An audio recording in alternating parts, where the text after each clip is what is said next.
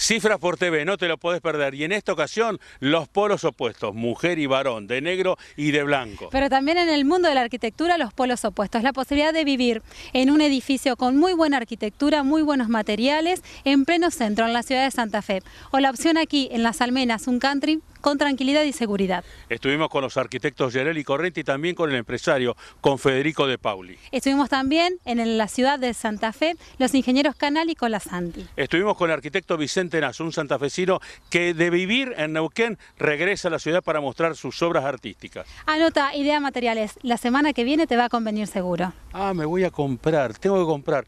Ustedes sigan, no, me voy a comprar idea materiales, seguro. Chao, chao.